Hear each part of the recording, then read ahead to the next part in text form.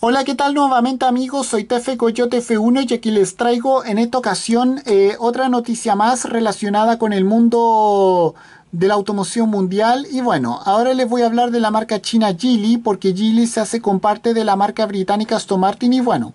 como sabemos están las suecas eh, Volvo y Polestar eh, Lotus, también británica, y ahora luego de quedarse también con un pedazo de eh, la alemana Daimler, el gran grupo automotriz chino, pone sus pies también en la marca con cuartel central domiciliado en Gaidon y bueno, vamos a hablar un poco de aquello. Bueno, como sabemos, el reciente viernes Aston Martin eh, recaudó, eh, anunció que recaudó 654 millones de libras, algo así como 600, 600 624 millones de pesos chilenos eh, con el propósito de producir una nueva eh,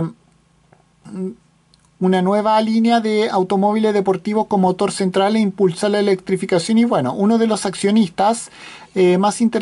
más interesantes que dio este impulso es la compañía automotriz china Geely, eh, actualmente propietaria de, de otras marcas eh, automotrices premium como Volvo, Polestar y Lotus. aparte de, poseer una participación en, la alemana Mercedes-Benz y bueno, según el medio Financial Times, Aston Martin y Geely planean compartir tecnologías en los años siguientes y bueno, eh, FT señala que la marca Geely estuvo a punto de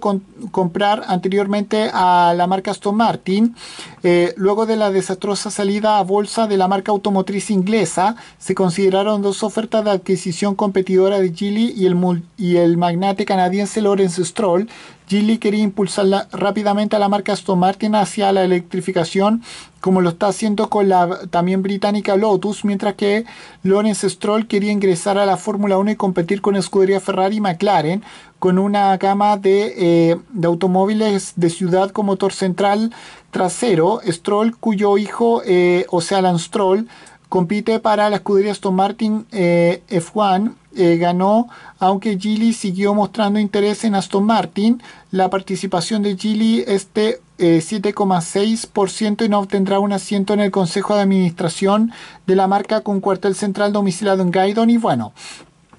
el otro nuevo accionista importante de Aston Martin es el Fondo de Inversión Pública de Arabia Saudí, o sea, el PIF, que adquirió una participación del eh, 18% de la empresa automotriz británica, el PIF, es el mayor accionista, eh, es el accionista mayoritario de la marca automotriz estadounidense de coches totalmente eléctricos Lucid Motors, aunque también, eh, aunque también tiene participaciones minoritarias en la, italo-argentina Pagani y el, el competidor y el competidor de Aston Martin, o sea, la también británica McLaren. Y bueno, Aston Martin aún está endeudado y si existen dudas acerca de que si Lawrence Stroll eh, continuará intentando apuntalar a la marca británica y llevarla a un futuro más optimista, FT eh, asegura que Geely podría ser un comprador potencial si Stroll decide que ya es suficiente. Geely eh, respaldó un exitoso cambio, eh, un exitoso cambio para la sueca Volvo. Transformó a Polestar en una marca prometedora de coches eléctricos premium y, se, y parece estar haciendo lo correcto también con la británica Lotus para transformarla como en una firma con una línea más moderna, amplia y rentable, aunque no sería el peor resultado para una automotriz británica que ha estado al borde del abismo durante casi media década y bueno, y con esto me y bueno, eh, y con esto me despido, adiós, que me fuera, chao.